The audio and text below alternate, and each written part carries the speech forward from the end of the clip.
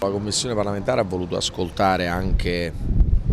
il parere del sindaco e la situazione della città, io ho sottolineato il lavoro che fanno le forze dell'ordine e la polizia municipale,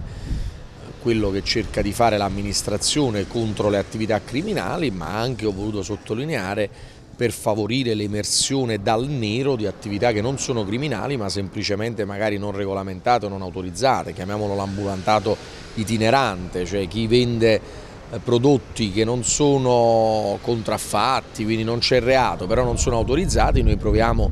quando ci sono delle condizioni ad autorizzarli e che invece deve essere rafforzato il contrasto soprattutto alle organizzazioni criminali che stanno dietro alle contraffazioni. Poi c'è sì la vendita al dettaglio dove noi impieghiamo